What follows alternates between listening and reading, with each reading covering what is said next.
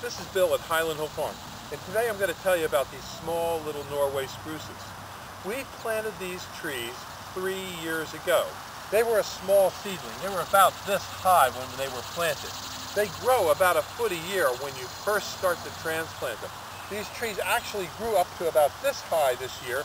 However, we trimmed them down to help get better branch structure. It'll take about six years before these trees are about eight to 10 foot high. In the meantime, we sell these trees, seedlings, transplants, balled and burlapped up to 12 foot tall at our nursery here in Fountainville, PA. And at Christmas time, you can come here and cut your own Christmas tree.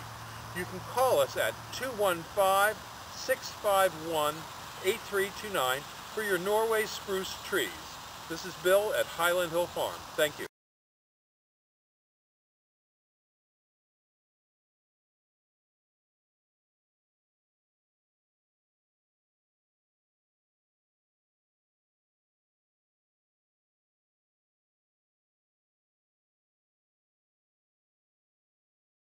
This video is brought to you by Highland Hill Farm.